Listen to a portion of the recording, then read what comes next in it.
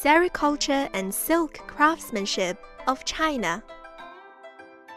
Dating back to at least 5,000 years, sericulture and silk craftsmanship is an original Chinese creation embodying China's long history and profound culture.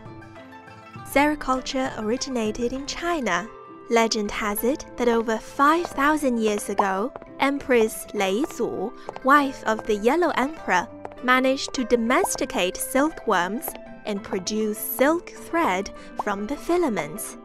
Then, the knowledge of sericulture became widespread in China.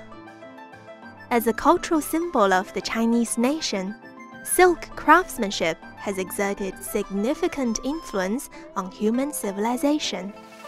Silk making encompasses various processes, such as unreeling silk, dyeing, and weaving. Silk making has been handed down and further developed, with techniques often spreading within local groups. Each group demonstrates its unique characteristics. In East China's Zhejiang province, a local group has developed silk that is white and pure. Another group makes silk that is smooth yet tenacious.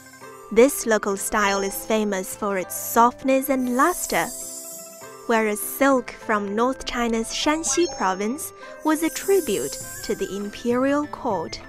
All these local styles constitute the unique silk culture of the Chinese nation. Eventually, the secret of silk spread beyond China. Through the ancient Silk Road, which connected China and the Far East with the Middle East and Europe, goods and ideas of different civilizations traveled the trade routes. Sericulture and silk craftsmanship has joined the UNESCO's representative list of the intangible cultural heritage of humanity.